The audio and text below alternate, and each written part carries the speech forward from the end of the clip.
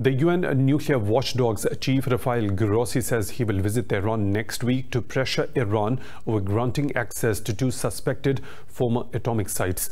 The International Atomic Energy Agency and Tehran are in a standoff over the inspector's access for months.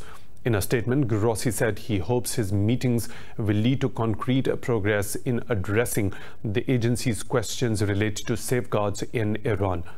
The statement said Grossi would meet high-level Iranian authorities without specifying names.